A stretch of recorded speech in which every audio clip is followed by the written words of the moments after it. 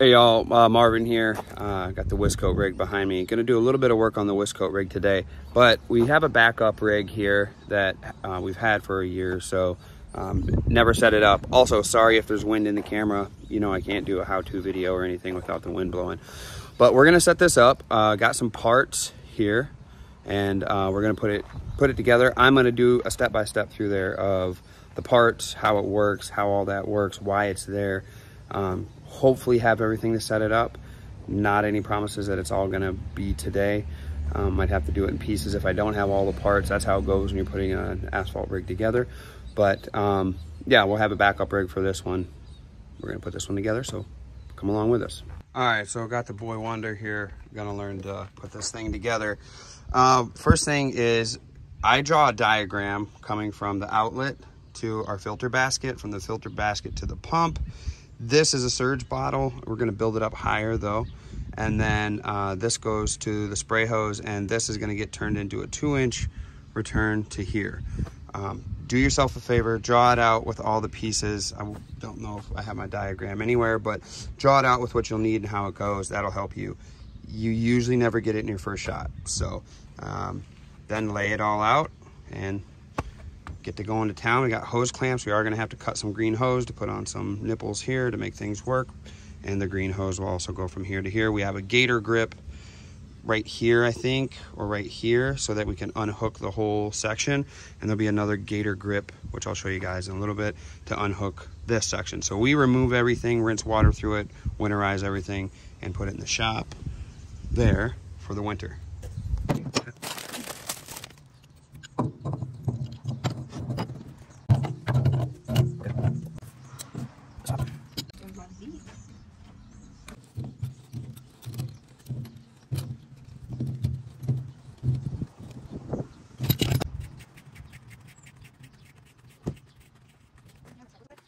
Yeah.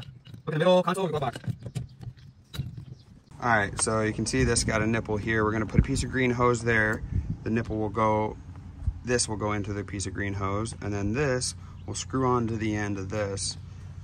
This is the gator jaw. It'll go in there and lock. So let's do that quick.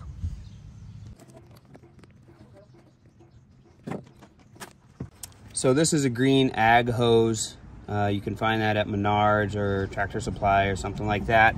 Um, most of the time when I'm building a unit, I'll put oil here and in here to help that go on. It's a tight fit.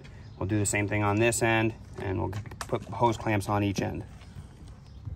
So I'm gonna use this to dip in the oil and put on here. But first of all, we're gonna put this together first because if this was in this hose, it's going to be really hard to grip this and hold on to it while we're trying to spin this on. So we're going to do that separately and get it together. Then we'll put this together and that together.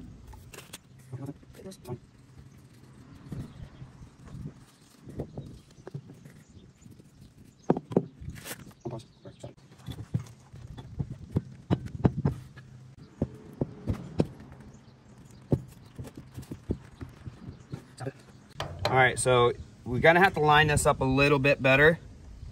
So we're gonna tilt it up just a little bit and hopefully get this to line up with this so it get grips in there.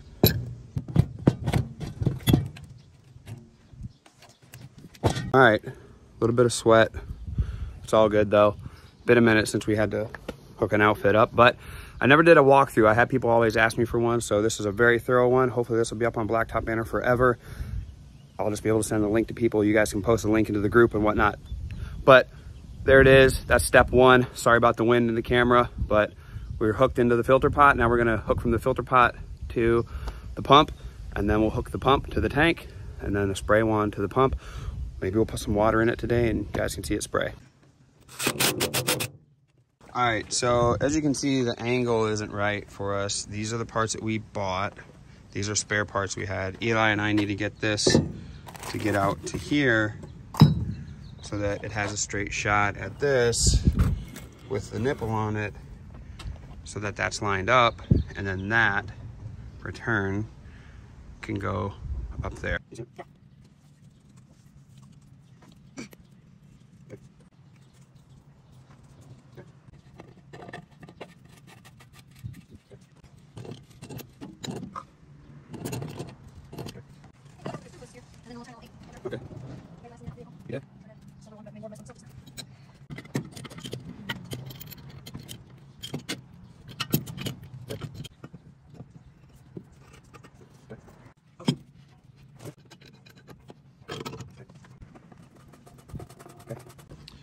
All right, now we got to get this in between there.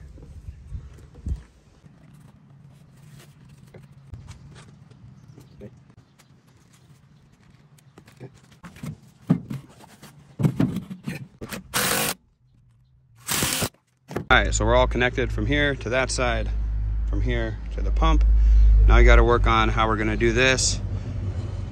More than likely, we do the surge tank and then a return up and over into the top there and the hose and out.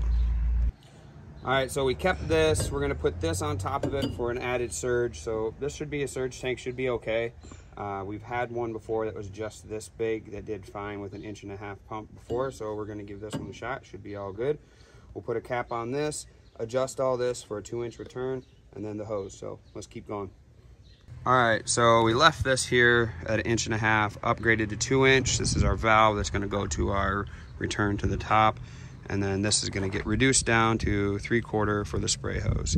So we're gonna put this together with that gator grip at the top and that'll be it for the return.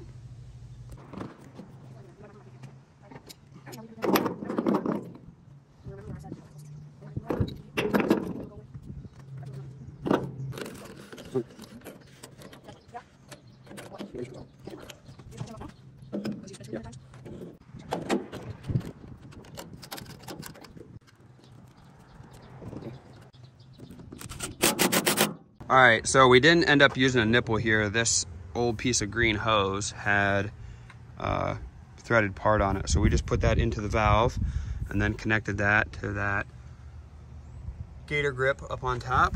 And now we'll finish this out and put this valve here after reducing it down. And this will be the valve that goes to the spray hose. All right, so this is the valve. Your hose will go in here and then we'll put the wand on. Wand on. Huh, never said that before, I guess. But it's all connected. Then you would open it up and you'd have sealer to your wand. Let's get it hooked up. All right, so this is our hose we got from Liberty Supply, Sam and Mike. It has swivel ends. Your hose should have swivel ends on both. If it doesn't, um, you're gonna want the swivel end on your hose end and you would have to turn this whole damn thing. But if you can get your hose with swivels on both ends, we're gonna wrench this in, then we'll put the wand on, be ready to go. All right, so this is hooked up now to the unit and we're just gonna put this into the spray wand to be good to go.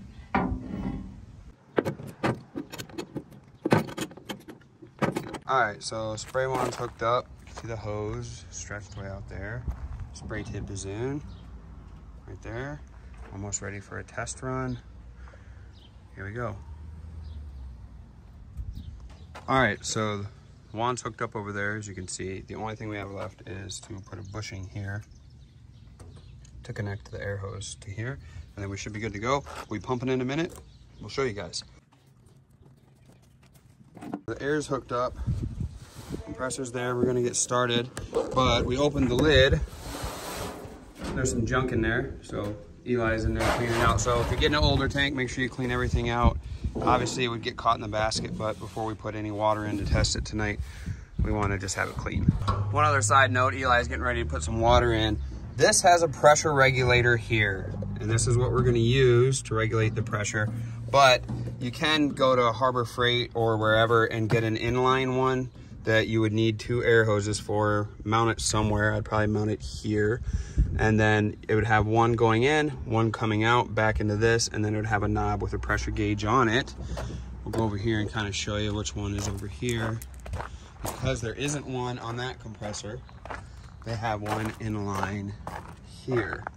So that's what one would look like. All right, so we're hooked up. Eli is gonna turn it on and let it rip. How do I do this? Open it up.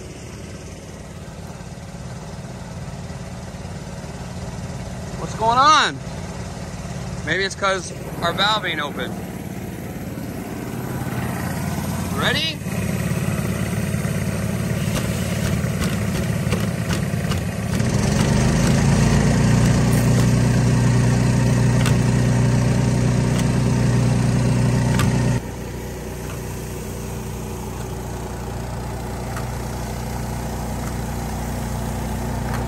All right, so as you can see, we're filthy, um, but we got it built and you've seen Eli spraying with it.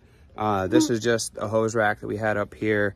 Might have to rethink that a little bit. The muffler's right there and whatnot, but um, put a, a block off kit kind of right here, just a plug. Uh, there was a couple leaks, seen them? Yeah, but they're just water leaks. We should be able to, uh, they should just plug up with sealer. It happened every time we've ever put one together. So that's it for us. That's that's the video on how to build your seal coat rig from scratch.